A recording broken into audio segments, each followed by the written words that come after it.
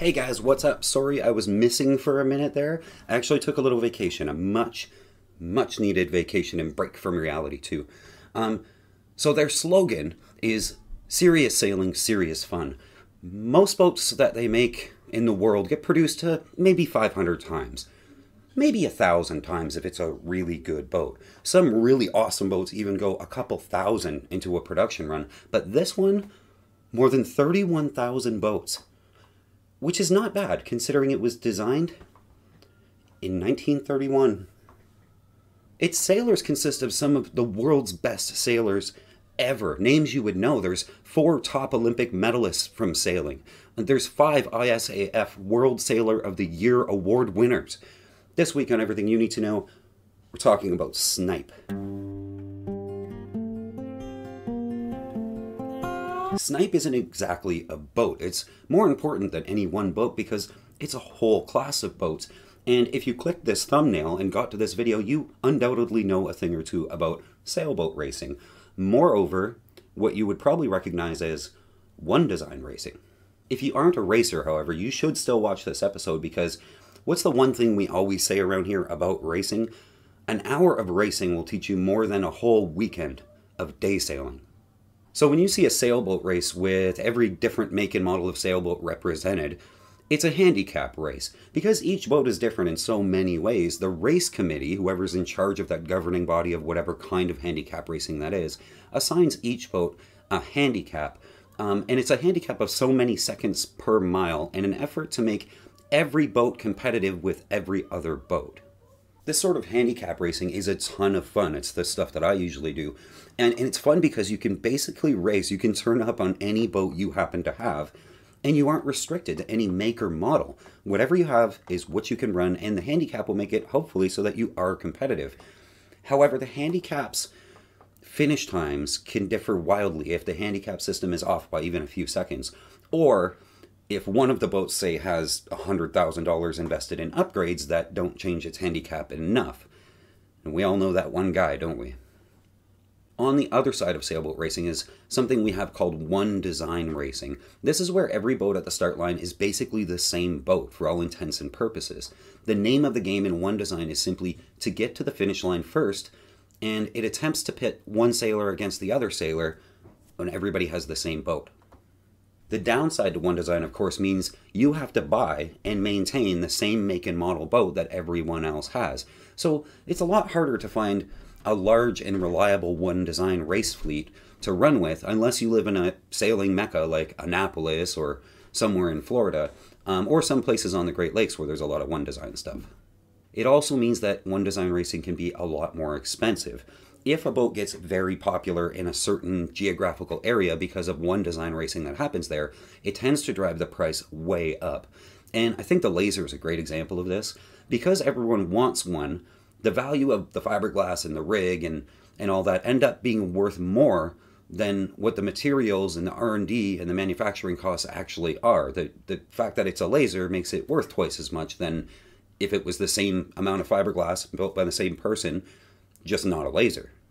Speaking of costs, Lady K Sailing is brought to you by patrons, people who give a couple of bucks an episode to keep this channel improving. Uh, I've got a couple new patrons, and I want to thank you guys so much. You make this whole thing possible. One of the best examples of a one design race boat are the J boats, specifically the J24, which we talk about a lot around here because they are that bloody good. But the J boats don't get all the glory compared to our subject today. And the J boats are a much newer phenomenon compared to our subject today. Snipes are a big name in the one design game, raced in 40 different fleets all over the US, North America, and a couple of other countries. Um, they claim some 450 members to the One Design fleets, and not just to sail locally. The Snipe class sails a lot in regional events and even national events, and there's a world championship event. The Snipe at 15 foot 6 inches is built specifically for competition. It's fast and being designed in 1931 and still built today. It really is a testament to an amazing boat and an amazing design. You can even order plans from places like Snipe USA to build one yourself um, if you're so inclined. And they're small enough that you can build it in a single car garage. And they're light enough, less than 400 pounds with the new design, that you can tow it with anything and launch it anywhere. I mean, three guys could probably pick it up and put it in off a break wall. Um, just about anywhere you want, which is good because the one design races, if that's what you want to do, are all over the place. Now, this is an extremely valuable piece of information that goes toward the value of the boat. Some boats just have a following that never seems to go away, like the J boats we mentioned, or the Albergs, or the Lasers. That list goes on and on. But as the owner myself of a boat with almost no following whatsoever, in fact, no following whatsoever, I know the downside to that. I have a Hughes 35, of which there is no owner's group. There's no experts. In fact, I think I've become the expert on the boat. I get countless emails every year from, as best as I can tell, the other maybe 10 Hughes 35 owners in the world um, asking me questions. And most often, I don't know the answers. I just maybe have more miles on a Hughes 35 than anybody else right now. Um, this is the opposite, though, for boats like the Snipe. And the Snipe community takes it one step further than just having those subject matter experts available in the online forums and the local clubs.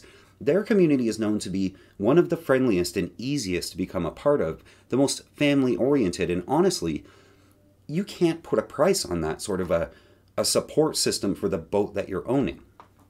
And it's a diverse membership. Head to any Snipe event, and you'll have 16 year old sailors who are extremely good um, up against decorated award winning race captains with a lifetime of experience racing, and they're pitted against each other running door to door with the biggest smiles on their faces anyone has ever had on a sailboat. This kind of brings me to my main point about snipe sailboats. We talk a lot around Lady K Sailing about world traveler cruisers, big heavy beasts, um, stuff you might actually want to buy right now or that you might be shopping for. And to be honest, those videos, when we make them, get a lot more views than this one. But I like to do passion projects too, and the Snipe has always been one of the passion projects that I wanted to talk about and I wanted to research and I wanted to share with you guys. Not because it's going to get a lot of views or it's going to be a successful video, but because I think it's important to talk about the Snipe. And not because you'll want to sail it to the Caribbean or something, uh, but because sailing wouldn't be what sailing is without boats like the Snipe. Our big comfy cruisers wouldn't be as cheap as they are without the Snipe or the Laser or, or all the other boats like that. The technology that makes our boats safer and faster certainly wouldn't be around without racing. And all the awesome new models of cruisers would never even have been designed unless there were sailors interested in buying them, and that's a big part of where these boats come in. Most hardcore sailors get their start in cheap, easy to use little sailing dinghies, or if they're lucky, racing dinghies like the Snipe. The Snipe has been pulling new people into the sailing world since the 1930s, and I can't think of any other design that can make that claim. Since the 1930s, this boat has been making young, aspiring, looking for a hobby kids find sailing and get into it, growing this thing that we all love. Few people have done as much for our sailing world than people like Ted Brewer and Carl Alberg or Lin and Larry Pardey but few boats have done as much as the Snipe.